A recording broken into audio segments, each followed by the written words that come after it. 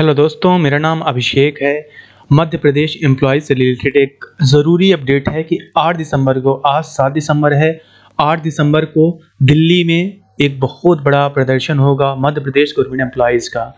देखिएगा, इसके रिगार्डिंग मैंने नौ दिन पहले एक वीडियो बनाया था और बताया था कि जो मध्य प्रदेश के गवर्नमेंट एम्प्लॉयज़ हैं, अब वो दिल्ली जाएँगे। वहीं पे दूसरी तरफ़ अभी रिसेंट में मैंने आपके सामने कल एक वीडियो लाया था और बताया था कि एमपी के जो पेंशनर्स हैं, वो एमपी में ही कल हड़ताल पे थे, कल उनका प्रदर्शन था कि वो सेंट्रल के सामान डीनस अलाउंसेस चाह रहे हैं। तो देखिएगा एमपी के गवर्नमेंट एम्प्लॉय जो दिल्ली में प्रदर्शन करने वाले हैं, उनकी कई सारी मांगे हैं। उनमें से पुरानी पेंशन एक मुख्य तो मुद्दा है, साथ ही साथ बहुत सारे और मुद्दे हैं और यहाँ के कई सारे कर्मचारी संगठन जा रहे हैं।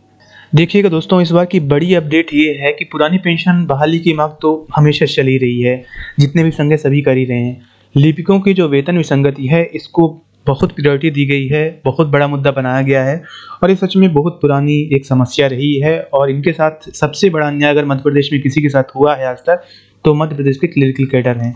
तो अब इनकी मांग को मुखर आवाज़ दी गई है और ये काफ़ी अच्छी बात है और काफ़ी फेवर वाली बात है कि जो मध्य प्रदेश के लिपिक संघ के कैडर के जो प्रांताध्यक्ष हैं, वही संयुक्त मोर्चा के भी प्रांताध्यक्ष हैं।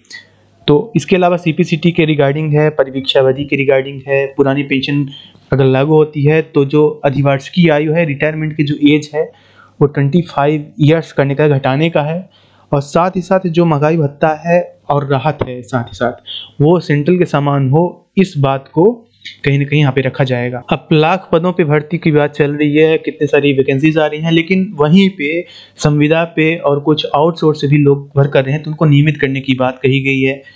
और जो कितने महीने का आपका एरियर है डी एन एस अलाउंसेस का महँगाई भत्ता का, राहत का, उसके एरियर की भी बात कही गई है। और ये बोला गया है कि जो आप आउटसोर्स प्रथा है, उसको बंद कीजिए। अब आप सभी को पता ही होगा कि जो तृतीय श्रेणी के अलावा जो फोर्थ श्रेणी है जो फोर्थ क्लास के एम्प्लॉयज़ हैं, उनके लिए कहीं ना कहीं आउटसोर्स की टोटली प्रथा चालू कर दी गई है। इवन जो ड्राइवर्स हैं, उनको अगर कोई बहुत ज़रूरी हो, तभी नियमित भर्ती की जाए।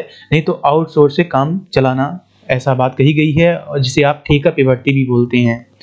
दूसरी बात यह है कि अक्सर ये देखा जा रहा है कि जो रिटायर हो जाते हैं तो उनको संविधान नियुक्त दी जाती है, जिससे कि एक जिसको वो पोस्ट मिल जानी चाहिए, उसको नहीं मिल पाती तो इसकी कहीं ना कहीं खिलाफत की गई है।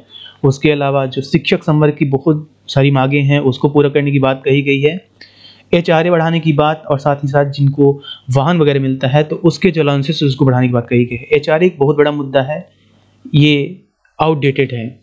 अब देखिए, जो पहले मैंने बोला तो पुरानी पेंशन अगर बहाल होती है तो इनका ऑलरेडी होगा, लेकिन जो आउटसोर्स संविदा दैनिक वेतन भोगी हैं, जो भी काम कर रहे हैं, उन सभी को नियमित करने की बात कही गई है। और इसके अलावा जो प्राइवेटाइजेशन हो रहा है, इसकी भी बात कही गई कि इसे रोका जाए, बंद किया जाए।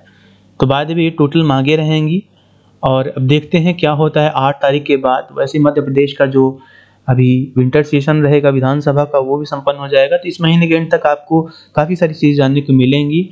और जो भी होगा दोस्तों अपडेट्स मैं आपके सामने लाता रहूँगा। आप हमारे साथ बनिएगा, धन्यवाद।